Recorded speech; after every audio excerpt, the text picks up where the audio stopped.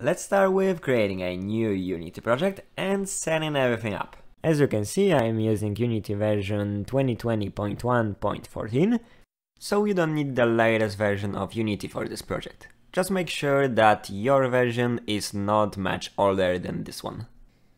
In the future, we will be using Pixel Perfect Camera and Universal Render Pipeline. If for some reason you still have a really old version of Unity and you don't want or can't update it, I think those are the only two components that you will lose. They are really helpful, but not necessary, so it's not a big deal. Now let's set the name of the project and change the template to 2D.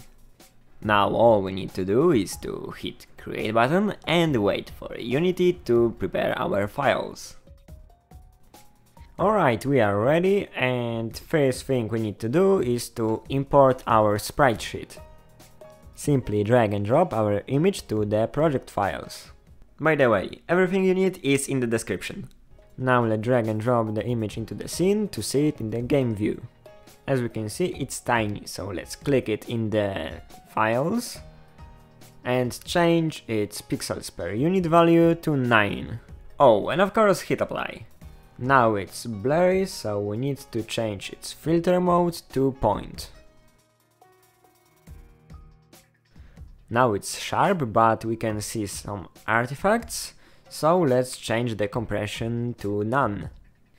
Now we can see the original version of the file. We don't need this game object anymore, so let's delete it. If the name of your file is broken like mine, it's a good time to fix it. Now we need to change the sprite mode from single to multiple and enter sprite editor. Uh, Unity asks us to save the changes, so we click apply.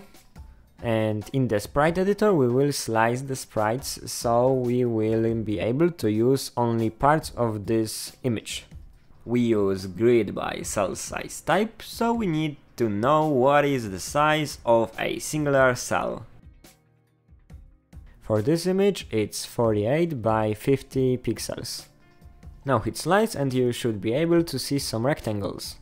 There are too many of them and we will need to delete some. Simply click on a cell you don't want and click delete key on your keyboard. Now let's do the same with the rest of additional rectangles. Leave only one per sprite. Now let's use a control button and a scroll wheel to zoom in. Click on a cell which is too small for now, grab its corner and resize it.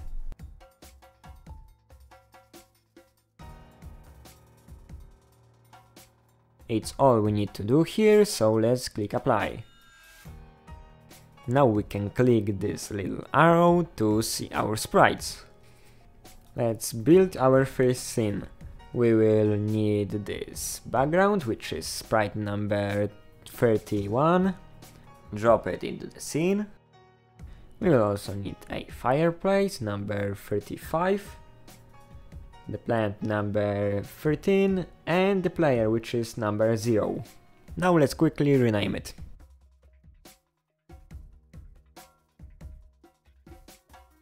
Now it's time for us to move to the scene view.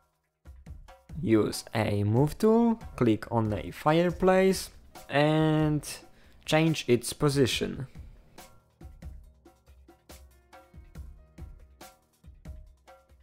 Now let's move the player to the right and move the plant to the left. Let's go back to the game view. As you have probably noticed, we are missing a fire in our fireplace. That's because it will be a separated animated part and it's number 47. Now let's drag and drop it into the fireplace to make it a child object of it. And let's change its position a little bit. Let's switch back to the scene view and if you zoom in really hard, you will see that our pixels aren't aligned perfectly. We don't want to set every sprite perfectly by ourselves, because it will take a long time, and that's the reason why we will use Pixel Perfect Camera. But I think it's enough for one video, so let's do this in the next one. Have a good day and see you soon!